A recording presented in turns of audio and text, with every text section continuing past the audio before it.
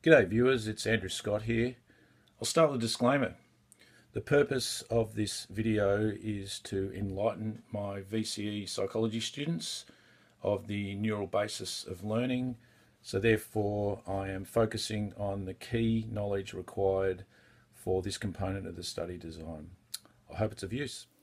In this clip we're going to focus on the function of dendrites, axons, neurotransmitters and the synapse. And we're going to look at how these entities change as a result of memory formation. Dendrites contain specialized receptor sites which receive incoming messages conveyed via neurotransmitters. So they collect information. The cell body integrates this information and if there's enough activity, an electrical impulse will be generated and conveyed via the long slender projection, the axon. And at the end of the axon, we have the axon terminals, which will potentially send outgoing messages via neurotransmitters. So here's a close-up, more detailed version of the previous slide. Now, because the axon terminal on the presynaptic neuron doesn't make physical contact with a dendrite on the postsynaptic neuron, there needs to be a mechanism for conveying a message from neuron to neuron in order for memory formation to occur.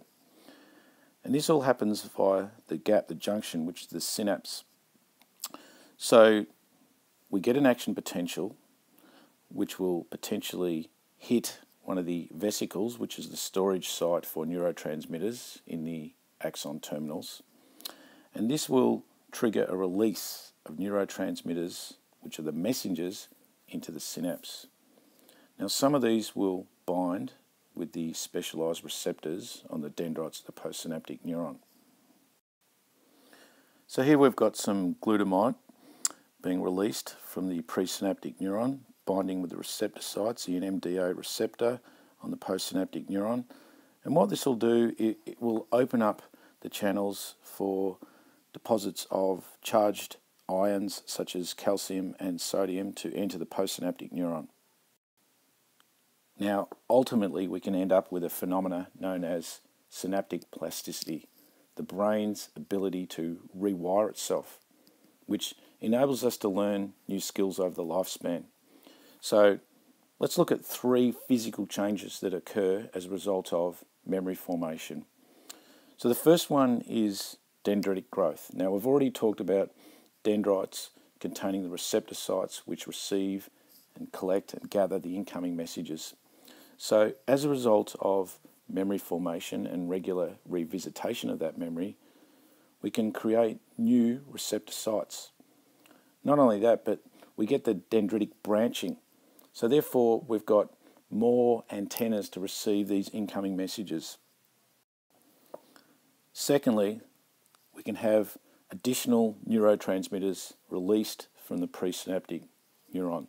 So not only do we have more receptor sites as a result of that dendritic growth, but we all we have more electrochemical messages sent in the form of these neurotransmitters, which again enhances, I guess, the efficiency of the retrieval of these long-term memories. And thirdly, we get LTP, long-term potentiation, which refers to the